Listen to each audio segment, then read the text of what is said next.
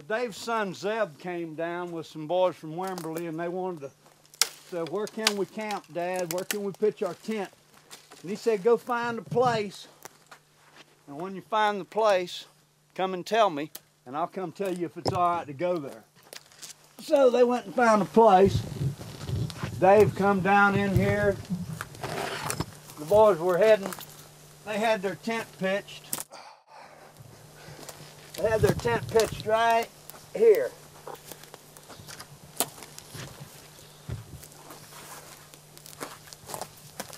And uh, and so Dave was going, wow, this is very cool, very cool spot. This is why this is called the tree of death also. They're so brittle that it doesn't take much. These limbs can fall. You'll see them, they'll, they'll fall and uh, uh, for out of the blue just all of a sudden.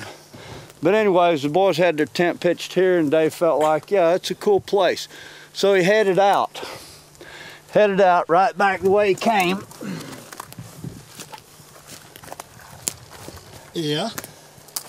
And he was face to face with part of the old mission wall. well, I just walked right by it. From 1640. Um, so you can see part of the, the foundation and such as that. And uh, huge possibility that Sul Ross will come down and excavate the old mission grounds. And uh, we will, if we can get the, the 1880s house Is that the outside of the wall or the put back together, then it would be maybe a museum. Uh, the things would come out of the ground and go into that place uh, to be viewed before they went on to higher learning and such things as that, uh, or to be viewed at different uh, locations in the country. Uh. I can't tell you that, man, because it was a few hundred years ago, and the mission set over there over here? I'm pretty sure that the mission almost, man, the way that it goes, you'd almost think that the mission was was in here. And this tree could grow to this in a couple of hundred years. These things grow fast. So, you know, if this was a 400 year old mission or 450 year old mission and a tree started growing on it, you know, 200 years later, this is how it got covered up. Well, you can document when they brought these trees over.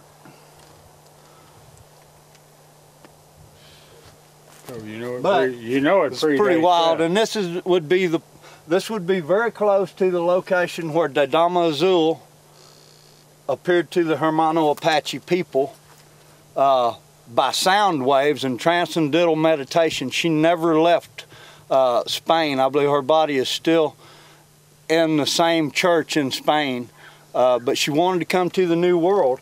Uh, so when she appeared to the Jumano Apache people, and where her gowns touched the ground, uh, is where the Texas bluebonnet sprung up.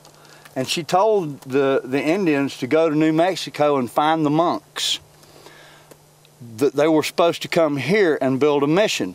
So they took off. They went to New Mexico. The monks said, How did you find us? They said, The Dama Azul told us to come and get you and bring you here uh, to build a mission. So the monks, they were very intrigued. They could not imagine how the, the Indians would have this information on the Lady in Blue. They came here and they built this mission. Uh, and uh, and uh, Dave has the particular websites and the best ones, but uh, there's like a hundred websites dedicated to this lady that uh, that never ever came to the New World, not in the flesh, uh, but in spirit form she did appear to these people. It's documented throughout history, and how could they make that story up, man?